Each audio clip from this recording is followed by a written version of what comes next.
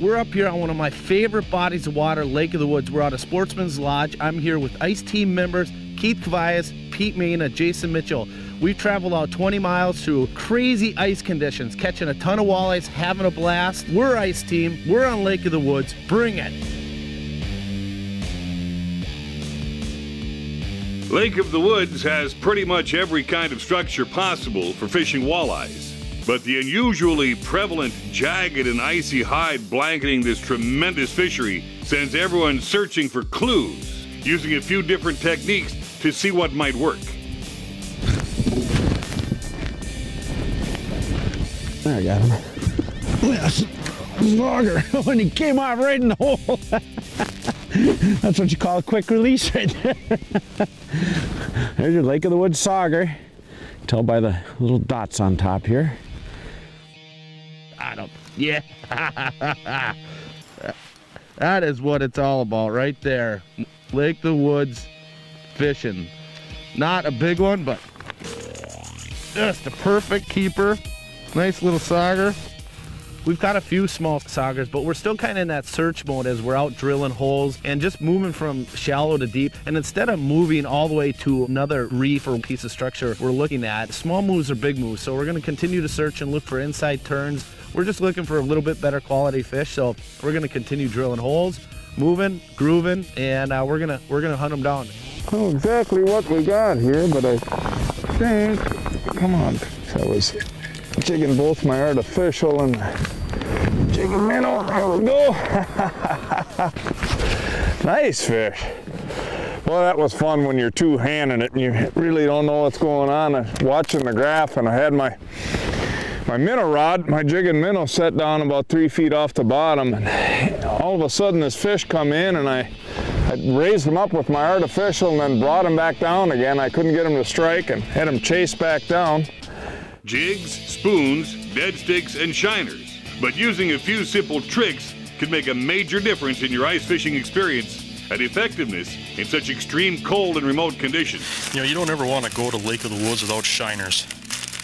They are so effective on this lake, and for running and gunning like this, we're out in the middle of nowhere, and so it's easy just to keep a bag of frozen shiners in your pocket. And I tell you what, these frozen shiners, a lot of days work as good as anything, but the thing about a shiner is that it's not very durable. So what I like to do is put a little snap on the bottom of that spoon, whatever lure I'm using. I just take that snap, that way I can pop that hook off. I just take that head, you just shove that minnow just like that, and that'll stay on really good. Thing about it is that when you're not marking fish, pound that lure pretty hard, especially on these reefs out here. Bang that lure on those rocks and try to call those fish in, and that'll just make that presentation a little bit more durable because there's nothing more frustrating than having a fish show up on your Vexilar doesn't bite, and then you reel up and you don't have any bait on there.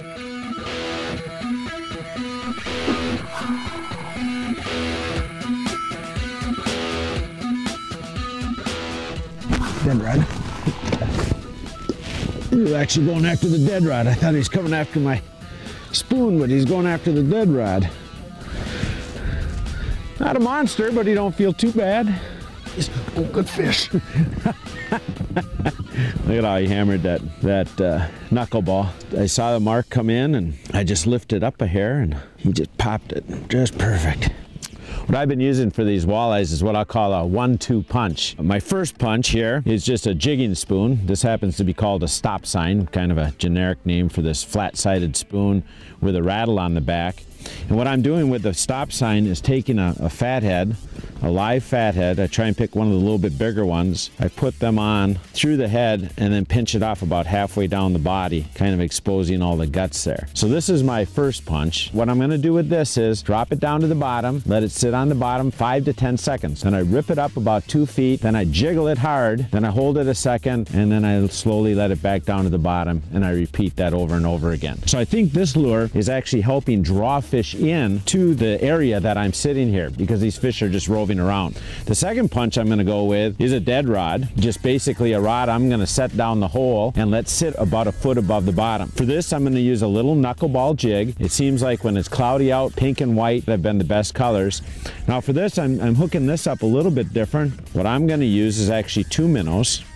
I hook up the first through the mouth and then I go actually behind the head and out kind of the back. So it positions that hook kind of back far on that minnow. So he's hanging down on the bottom. Then I take a smaller fathead and I simply pluck that on top of him. So I'm twin tailing them. So there's two minnows there. They're both twitching around down there. They're about a foot off the bottom. And then what I'm watching for is when a fish starts to come at them, lift it up about two feet, hold it, and then things are just hammering it. Got him. There he ate it. There he ate it. How's that one feel, Jeff? Need, need, here. It's been kind of fun. We've been, Oh, boy, we've been working. That's a decent, yeah, that's some fish there. nothing wrong with that.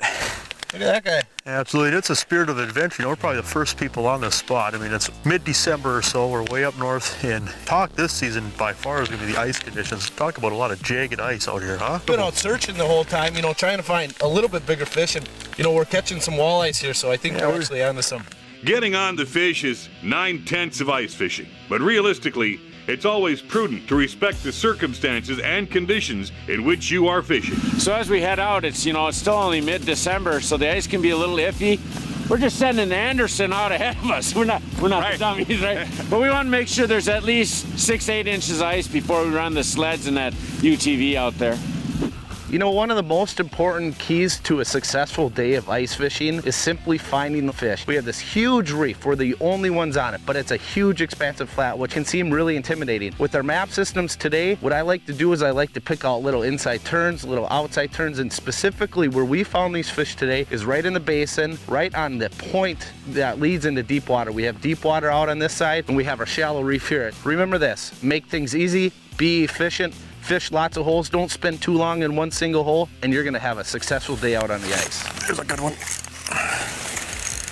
It's just running and gunning out here. We're not getting attached to any spot. We're just looking at that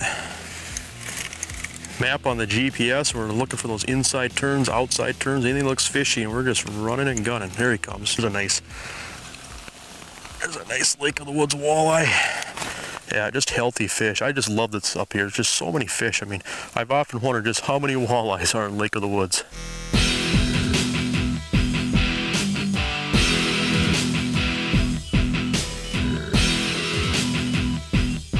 Bring it! Ice Team Tactics, brought to you by Arctic Cat. Share our passion. If you'd like to catch more walleyes this winter, learn how to aggressively fish lures like swim baits, rattle baits, call baits that bring fish in from a distance, but that takes the right rod. We've designed the most comprehensive lineup of walleye rods on the ice. And why are these rods so popular with walleye anglers? They've got the right tip and the right action to get the job done. When you're working these lures, you're trying to pull in fish when you're not marking fish. And so the right fast tip that's built all the way down to the tip is going to move more water and create more flash in the water to bring fish in. At the same time, when those fish punch that lure, you got to have enough tip on that rod to be able to lay those hooks home. At the same time, you don't want such a stiff rod that the rod doesn't flex and cushion those big head shakes and help navigate those fish up through the bottom of the hole. And you also need to be able to get over the top of the hole to remove your transducer. And so there's been a lot of thought and a lot of years of experience that have gone into the design of these rods. That's why these rods are some of the most popular rods amongst walleye anglers right now. Everyone being able to use variations on jigging cadences and presentation styles while still working together has this Lake of the Woods big walleye ice bite on point. That was really awesome. I don't know if you guys could see that, but these fish want to chase these spoons, and it's just a super aggressive jigging technique, and that's what's actually getting these fish to trigger. Big Lake of the Woods walleyes. This is what we come up here for. We've been drilling holes, we've been searching, and this is this is what happened right here. If the overall prospect of fishing big ice could be for some, at first, seem overly complicated over, say, a smaller body of water, all the basics still applied here in Keith's, Jim's, Jeff's, and Pete's approach Oh, what do we got here? to quickly breaking down this walleye bite. Oh, my favorite. Yummy eel pout. Big fat fatty. Look at that. Boy, did he eat that vibrato. I can't even see it. Holy man! I didn't even see him coming in. I got one there, Peter. Man, this one's a good fighter, Pete. I haven't even lifted him up at all. You you gonna need some help? Uh, possibly. Hello, come on I over. haven't seen it. I haven't even reeled one crank yet. Just in Might be one of your buddies. Ah, could be. Yeah. Oh boy. Now I'm excited. You didn't want to land a walleye, but you'd land an eel pout, wouldn't You you? might have an eel pout here. I'm ready to grab. I think it's a big walleye. Ooh, it's a nice one. big old walleye. Nicely done. Well, that ain't an eel pout, is it? Oh, wow. Wiggles like one. Wow, he's heavy. That's a nice fish. Yeah. Look at here, man. He just hammered the spoon. I was, I wasn't actually even moving it. I'm gonna be truthful with you. I didn't have no special action. It was just hanging there like a dead rod. My rod ooh, went down, and, and I tell you what, in my book, lots better than an eel pout. Lots better than an eel pout. Plenty of walleyes today, huh? But I think it's yeah. 17 miles back to the Sportsman's Lodge, so what an adventure. Let's wrap her up. What a day on Lake of the Woods, huh? Absolutely, a lot of fun. Ice Team would like to thank the following partners for their support Arctic Cat, Clam, Gander Mountain, Ice Armor, Jason Mitchell Elite Series.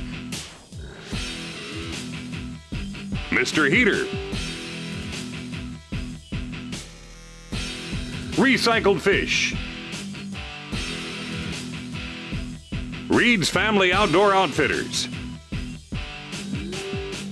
Thorne Brothers Custom Rods and Tackle. Vexilar.